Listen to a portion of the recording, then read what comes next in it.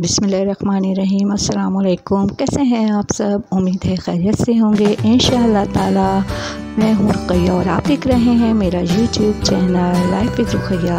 आज मैं आपको, आपके साथ जो रेसिपी शेयर करूँगी, वो है आलू बुखारा या आलू का शरबत, जो कि बन के नहायत ही मज़ेदार तैयार होता है। तो मैंने सबसे पहले आधा किलो आलू बुखारे ले लिए थे और उसको अब मैंने पानी में, अच्छी तरह पहले मैंने उसको धो लिया और धोने के बाद मैंने उसको पानी डालकर उसमें और उसको चूल्हे पर चढ़ा दिया है पकने के लिए। अच्छा भाई, इसके लिए लिए आपको पानी इतना लेना है कि ये आलू बुखारे अच्छे से डूब जाएँ। बहुत ज़्यादा पानी भी ना हो और बहुत कम भी। जैसे आपको नज़र आ रहा है ना, मुनासिब सा इतना पानी हो और फिर आप इसको जो है धोकर अपने जिस भी पैन में आपको बनाना हो, उसमें इसको डाल के चढ़ा दें और चढ़ाने के बाद ढककर इसको पकने दें। कुछ दूर देर बाद पक के देखेंगे इसकी ऐसी कंडीशन हो जाएगी किसी किसी का छिलका उतरना, जैसे फटने लगेंगे और छिलका उतरना लगेगा। लेकिन अभी ये हाफ़ डन है, हमें अभी इसको कुछ और देर पकाना है। इसका कलर देखें, अभी से हालाँकि ये अभी कुछ ही देर पके हैं, लेकिन इसका बिल्कुल रेड कलर आ गया है। जब ये अच्छे से पक जाएँ और इनका छिलका उतरने लगे तो हम इसमें शुगर डाल देंगे। शुगर मैंने इसमें ली है दो सौ ग्राम के करीब। आप अपने जायके के मुताबिक कम या ज़्यादा कर सकते हैं। और अगर कोई इसको इस तरह इसलिए बना रहा है कि उसका वज़न भी कम हो और या शुगर नुकसान हो तो बग़ैर शुगर के आप इसको बना लें। बाद में जब किसी को आपको सर्व करना हो तो उसकी ज़रूरत के मुताबिक शुगर ऐड कर सकते हैं या अगर बग़ैर शुगर के ऐड करना है, पीना है तो वो भी यूज़ कर सकते हैं। देखेंगे कुछ देर पकने के बाद इसकी ऐसी कंडीशन हो जाती है। आलू बुखारे एकदम गल गए हैं, इनका छिलका जो है वो निकल कर ऊपर आ गया है पानी के ऊपर और फिर इनको, आप इनको छिलकों को निकाल लें। छिलका निकालने में इनका जो है वो कोई मेहनत नहीं करनी पड़ती। खुद ब खुद ये जब पकते हैं और गलने लग जाते हैं तो इनका छिलका फट जाता है और वो इस तरह से जैसे आपको नज़र आ रहा है वो ऊपर आ जाते हैं।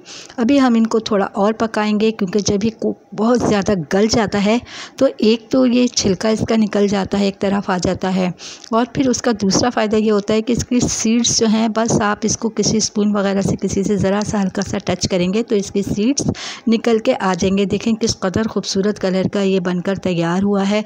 अच्छा मैं जो हूँ सीड्स इसको ठंडा होने पर निकालती हूँ। आप चाहें तो गर्म गर्म निकाल सकते हैं तो आप गर्म में भी निकाल लें।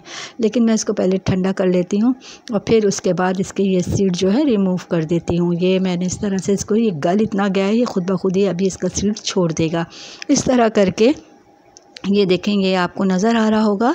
तो ये इसका सीड निकल गया है और इसका जो पल्प है वो मैं इसके अंदर अलग कर लूँगी और इसके सीड्स अलग करती जाऊँगी। इस तरह एक बर्तन में मेरे पास सारा जो है इसका पल्प रेडी हो जाएगा। देखिए, मैंने ये सीड्स सारे निकाल लिए हैं के बाद एक, क्योंकि ये ठंडा हो चुका था तो आसानी से निकल गए हैं। और ये एक तरफ़ इसका सारा पल्प जमा हो गया है। अच्छा इसका जो ये बचा था जितना भी इसका पानी हैगा, ये बना हुआ इसको भी मैंने स्ट्रेनर से छान लिया है कि अगर कोई एक आध इसके अंदर सीड्स रह गया हो, कोई छिलका रह गया हो तो वो अच्छे से छन जाएगा। वो आपकी मर्ज़ी, अगर आप ना भी छानना चाहें तो ऐसे ही हल्का सा चेक कर लीजिएगा कि इसका कोई सीड्स वगैरह तो नहीं है, लेकिन मैंने इसको छान लिया था, लेकिन इसमें कोई सीड्स वगैरह नहीं था। ये जितना भी इसका पल्प या गूदा था, वो इसके अंदर ही आ गया था। बड़े आराम से ये छन जाता है और इसके बाद ये हमारा जो है, ये जितना भी इसका आलूचे का शरबत बना है, वो बनकर तैयार हो गया है।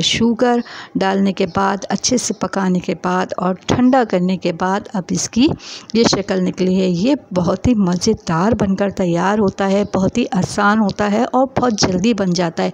लेकिन फ़ायदे इसके बेशुमार हैं। जब आप इसको पियेंगे और ठंडक का एहसास होगा तो आप वाकई वाह वाह कर कर बैठेंगे। बहुत ही मज़े का शरबत है, बनाने में आसान होता है। अब मैंने ये देखें जितना भी इसका मुझे शरबत ये बनकर तैयार हुआ है। इसको मैं अपने ग्राइंडर में, जार में, मिक्सी में जो भी आप यूज़ करती हैं, उसके अंदर डाल लें और डालने के बाद इसको ग्राइंड कर ले। जब ये अच्छा सा स्मूथ ग्राइंड हो जाएगा तो फिर हम इसके बाद इसका आगे का प्रोसीजर करते हैं।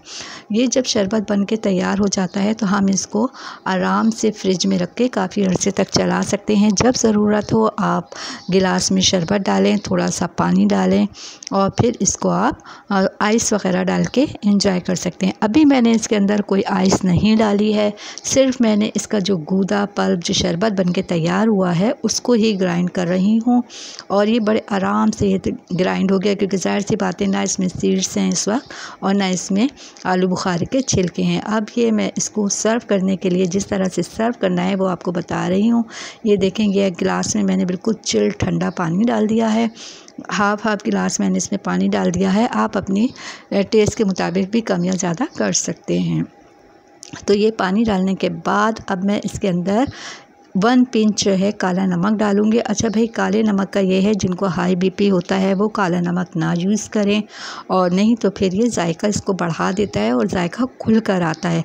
लेकिन अगर किसी को हेल्थ इशू है तो वो इसमें काला नमक नहीं डाले। ये जायके की वजह से डाला जाता है।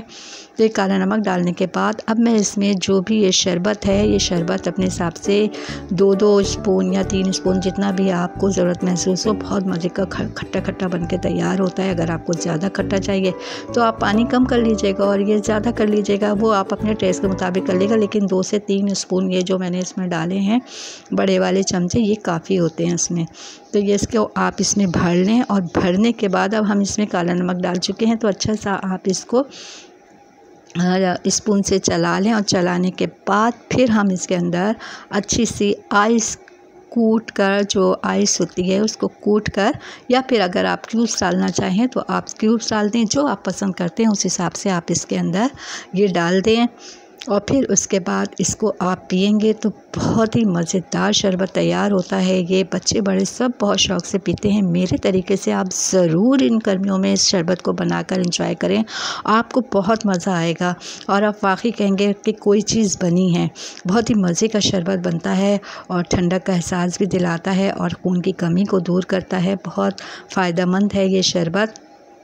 तो आप ज़रूर बना के इसको इंजॉय कीजिएगा। अगर आज की रेसिपी आपको पसंद आई हो तो आप मेरे चैनल को लाइक शेयर और सब्सक्राइब करना ना भूलिएगा। ज़रूर मेरे चैनल को लाइक शेयर और सब्सक्राइब कर दिया करें। इसी तरह की और बहुत सी वीडियो देखने के लिए मेरे साथ ही वाह वाह वाह, ये देखिए कितना अच्छा मैंने इसके ऊपर हल्का से ना दो तीन मिनट भी लगा दिए थे, ताकि दिखने में भी खूबसूरत हो। और जब हम इसको इस तरह सिप करेंगे तो मिनट की खुशबू भी आएगी और जब ये गर्मियों में हम इसको पीते हैं और ख़ास कर कोई पहाड़ से आया हुआ हो, गर्मी लग रही हो और आप उसको थोड़ी देर के बाद जब कोई पानी वानी मांगे तो आप उसको ये वाला शरबत अगर आप सर्व करेंगे तो उसकी सारी थकन उतर जाएगी। उसको ठंडक का तो एहसास होगा लेकिन उसका इतना एनर्जी, इतना पावरफुल होता है कि बिल्कुल थकन भी उतर जाती है, बहुत मज़े का लगता है।